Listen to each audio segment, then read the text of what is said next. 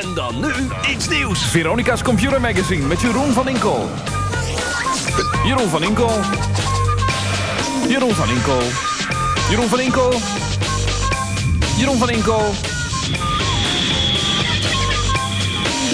En met Jeroen van Inkel.